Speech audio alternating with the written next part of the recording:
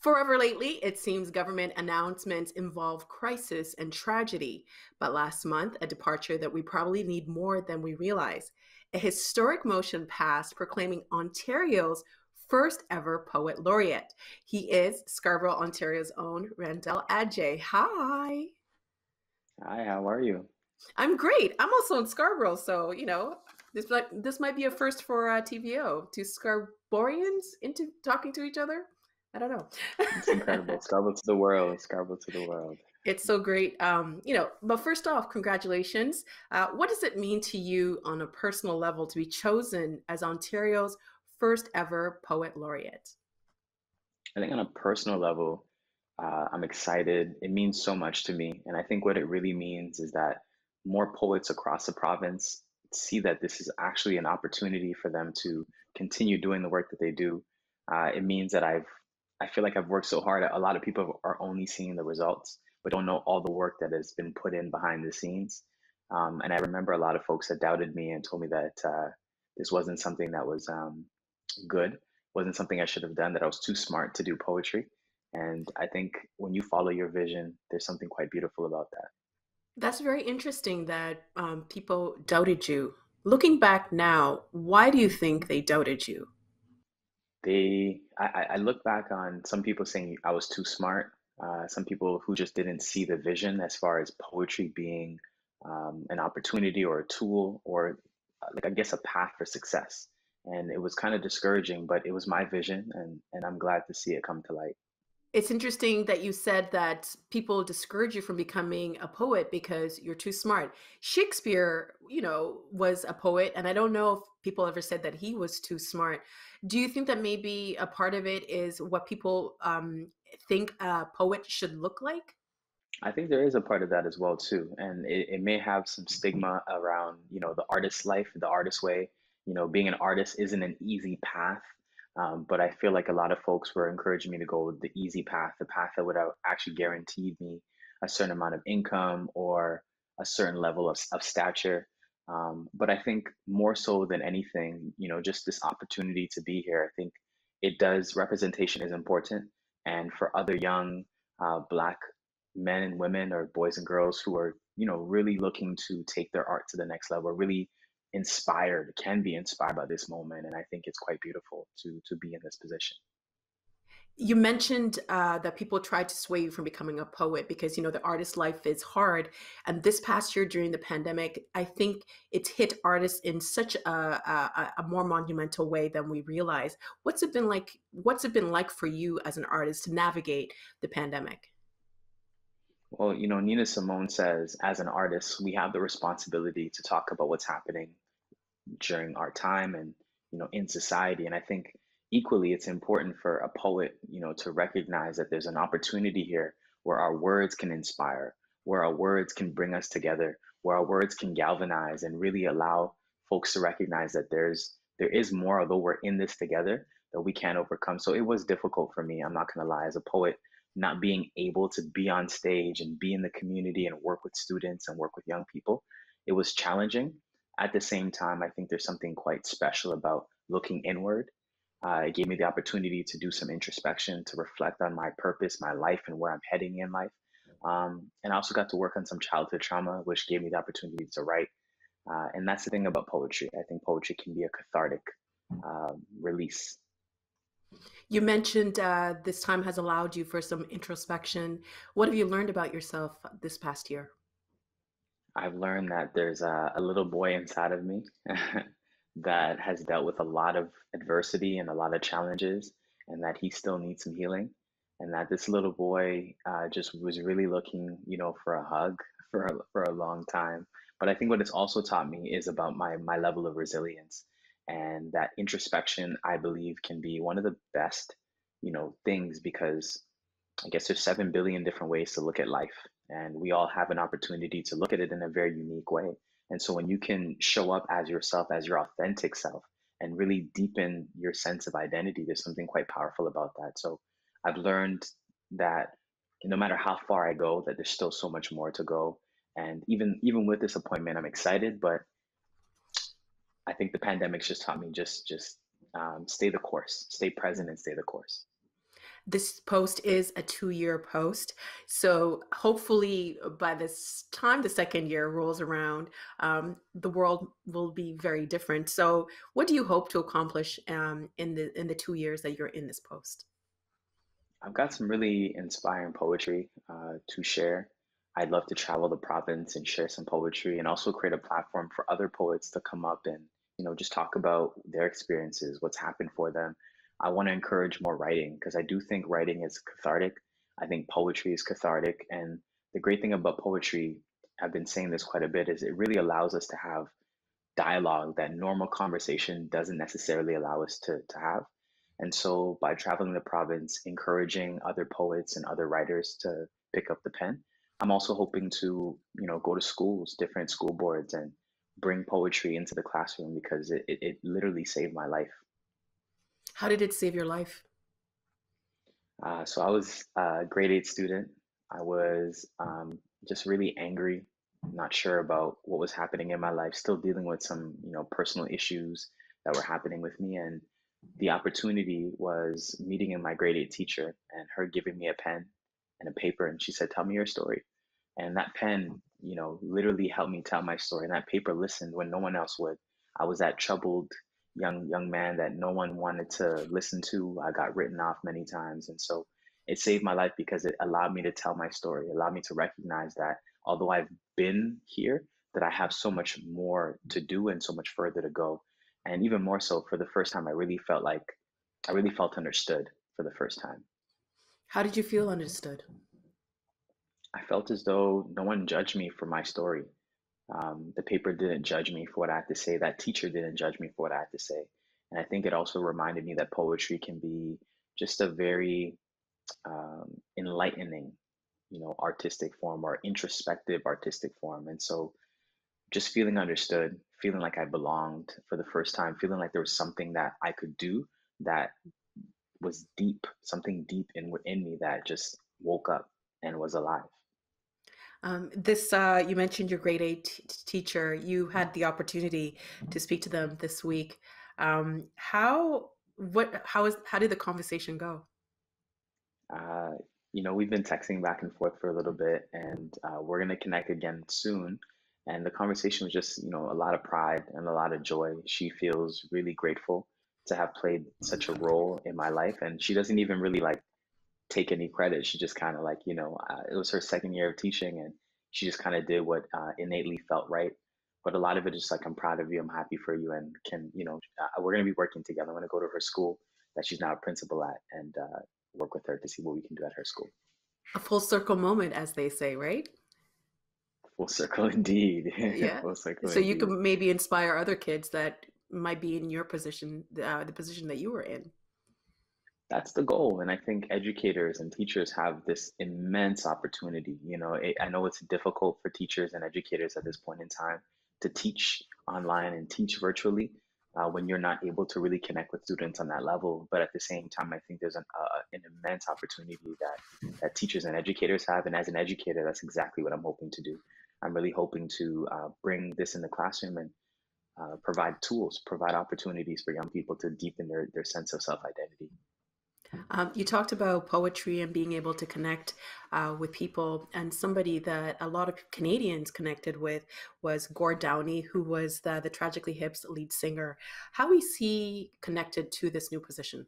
Uh, well, first of all, this is this this is in his legacy, in his honor. I wouldn't be here if it wasn't for his legacy, the poetry he wrote. I feel like the connection between our work is that we've seen social justice issues, and we were just folks who just knew that our poetry and our words could at least raise awareness, or that we could advocate or speak out for the injustice that was happening. I had the pleasure of speaking with his daughter and two brothers yesterday, uh, Michael, Patrick, and Willow, and you know, I, I I got welcomed into the family. Uh, it was a very beautiful moment for me just to talk to them and listen to them and learn more about Gord from their perspective. Um, so, you know, thinking about Gord, I'm grateful, I'm honored, and I want to just continue and further his legacy. Um, I don't want to put you on the on the spot, but I mean, you are a poet, you are an artist, and this past year we've dealt with a lot of um, difficult news. A lot of people have lost so much and are continuing to lose so much. I just wanted to see, you know, um, if maybe you could uh, offer us some words of wisdom through a poem for us, for our audience. Absolutely. Um, I have this poem. I'm thinking about two things. There's one poem that I have called Brokenness, and another one uh, called The Power of the Tongue. Um, but I think brokenness is fitting. You know, for those who are listening, I think this might be fitting for for them.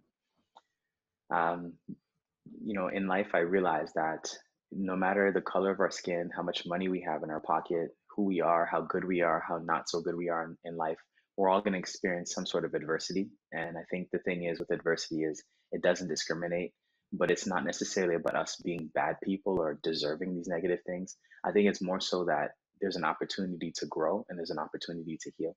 So um, this is a poem called Brokenness. There are too many broken people, broke into pieces they think they cannot fix. Like shattered glass, they may cut you when you try to uplift, slicing the helping hands, hoping to heal the harm that's happened to them.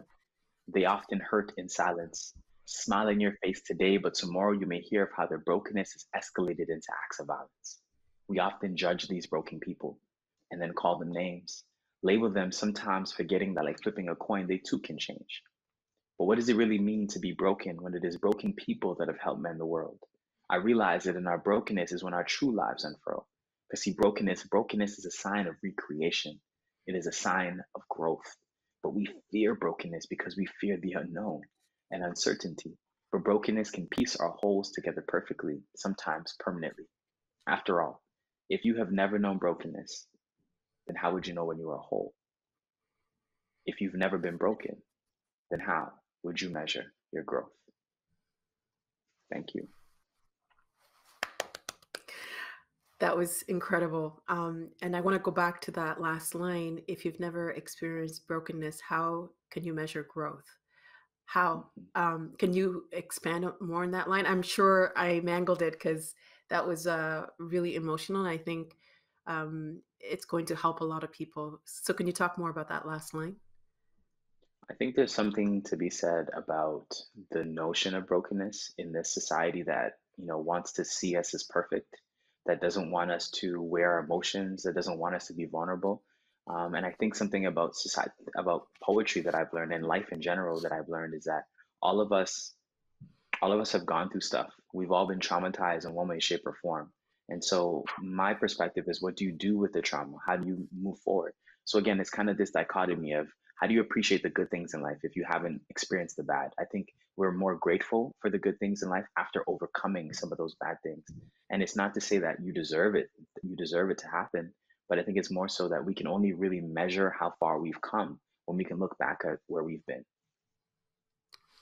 Um, I want to ask you something, and obviously, you don't have to talk about it if you don't feel comfortable.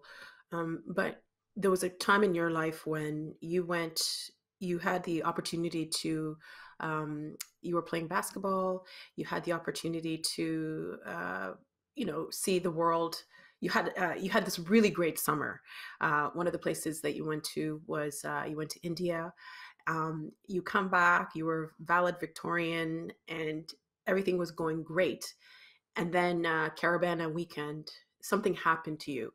And again, you don't have to talk about it if you don't feel comfortable. But I, the reason why I brought it up is that um, you can. I think we all encounter certain things in our lives, and we are given two choices. You can stop and kind of just fall apart, or you can, you know, feel the things that you need to feel, and then find a way to move forward. And I think this pandemic has been one of those things where you're just trying to find that thing to help you um, move forward because everything just feels out of your own control. So, I, again, if you don't want to talk about it, you can tell me, Nam, beat it. but I just wanted to ask you, you know, how did you find the, what happened and how did you find um, the strength, uh, the, uh, I guess, the foresight to kind of push through it and move forward? Yeah, and you know, I don't mind sharing. It's a part of my journey that I've experienced. And I think uh, more so what I've learned about my life is my story is my story.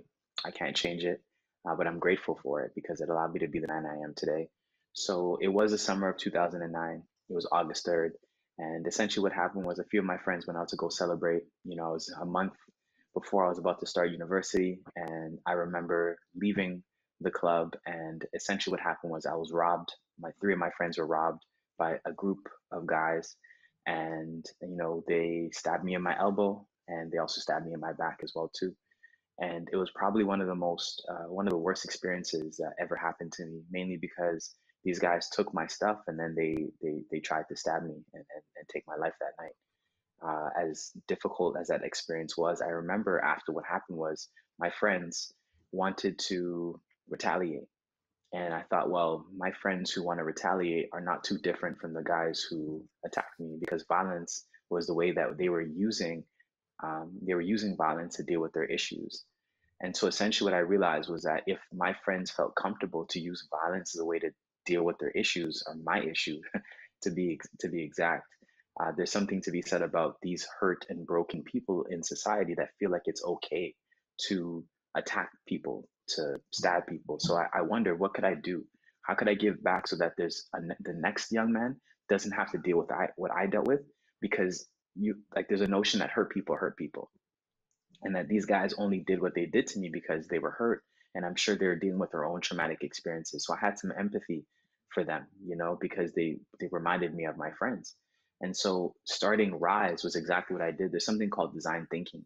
And design thinking is really looking at a problem and asking you know once you look at the problem really deepening your understanding of the problem where you can fall in love with the problem. And i fell in love with this problem of violence in our city and the lack of safe spaces for young people and so that's how I created Rise. Rise is a you know uh, a not-for-profit organization, social enterprise that really looks to create safe spaces for young people to express themselves in a positive way. Because in my research, what I've learned is a lot of young people turn to violence because they have trauma that is festered inside of them. And so that's essentially what happened to me, but it ended up becoming one of the best things that happened to me, ironically, because um, I, I guess I believe that all of us are alchemists that we can all take rocky moments and turn those rocky moments into golden opportunities. I'm so sorry that you went through that. And I'm very, very glad that you're still here uh, to do this important work. Um, mm-hmm. And The Alchemist, one of my favorites, Paulo Coelho, um, one of my favorite books. Um, you know, you mentioned Rise, and you just kind of threw it out there, but Rise has become, before the pandemic, it was uh, an important part of your neighborhood um, you know, looking back, how do you think Rise has helped the community? So, when I think about what Rise has done in the community, when I think about how it's been a pillar for so many young people who are looking for an opportunity to express themselves, an opportunity to heal, an opportunity to connect with other young, like minded folks, um, or just an opportunity to, to be inspired to kind of push forward through the challenges that they've been going through. Uh, it, it, was a very important part of our community because it was a weekly event where it's the same place, the same time. You didn't necessarily have to pay to get in. It was just more so uh, looking like I think what I love the most about Rise is people would travel all the way from Brampton. I mean, literally would travel from Brampton, and and that's far. Like, Oshawa. I'm, I'm telling you to come to Malvern, you know? Yeah. And they would travel and sometimes they would leave only to catch the last bus or miss the last bus. And and I guess it goes to show that young people really needed this, you know, it was so important and vital in the community. So um, just really quickly, we started off by building the safe space. And after young people continued to come, they were looking to learn more about being an artist. So we started an initiative where we would teach them about the business of being an artist, uh, the business of being a professional artist and getting them connected to mentors such as Mark Stoddard as well. And um, the third, the third portion of it is we wanted to employ them and give them opportunities to go out there and get paid. So whether it was connecting them with the city of Toronto or connecting them to different corporations so that they could perform and get paid, uh, that was essentially what we decided to do because um, it was needed. You know, it was really needed to let them know that your art matters, your art is meaningful and it does matter. Uh, Randell, thank you so much for spending some time with us. Uh, I we're also proud of you, and can't wait to see the things that you do as Ontario's first ever poet laureate. Uh, congratulations, and yay, Scarborough! thank you so much, Nam. I appreciate it. The Agenda with Steve Paikin is brought to you by the Chartered Professional Accountants of Ontario. CPA Ontario is a regulator, an educator, a thought leader, and an advocate. We protect the public. We advance our profession. We guide our CPAs. We are CPA Ontario. And by viewers like you. Thank you.